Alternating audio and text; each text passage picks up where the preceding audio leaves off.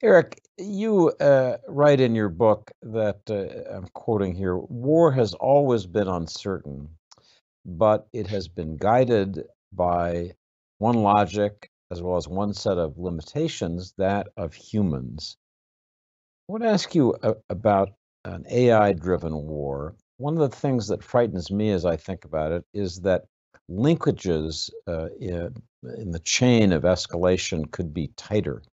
Uh, Dr. Kissinger or other strategists of nuclear war have always feared those tight linkages driving us toward conflict.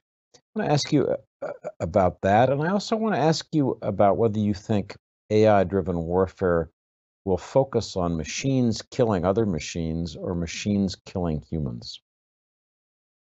Um, we're just at the beginning of the answer to this question. Um, we started with the question of proliferation. So if you assume that AI will eventually be very powerful, do we have a proliferation problem? And the answer is yes, because we and our opponents are all tracking together in a virtual arms race where we're essentially competing and competing and competing to build out this.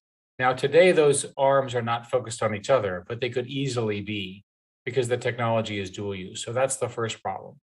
The second problem is you have to have a theory of how war will emerge, AI enabled war, and we don't really know. Uh, if you talk to the military, and Michelle is an expert at this, obviously, they'll say that the first war is always in space and in communications. It's cutting off the opponent's communications. We saw this in South Georgia and a couple of other conflicts uh, with involving the Russians a few years ago. So let's assume we're going to have that happen. Let's assume that we survive that initial attack. Now you have a cyber war. And the decisions in a cyber war have to be made faster than human, human time. So, so even before we get to the robots killing people, we have this massive set of infrastructure questions about how quickly things attack, who controls them, and so forth.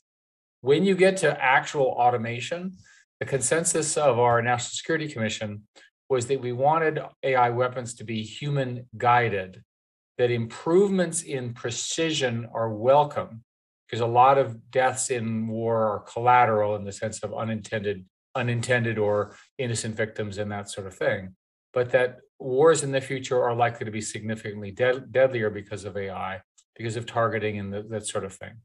Um, we look took a, a, a while looking at this question of command and control which is what the military would really like the current command and control systems are so complicated and so poorly built that it's unlikely that in the short term AI can really solve that problem.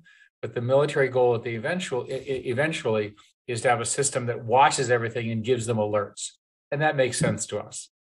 The issue here, all of that is straightforward, and the the thing to worry about is the destabilizing nature of launch on warning. And so, what's going to happen in our view, and we say this in the book, is that eventually you're going to have two sides, both of whom have unknown strengths and unknown weaknesses in their AI systems. One will get jumpy and alert the other that they're about to attack, and the other will actually cause the attack. That's the Strangelove scenario.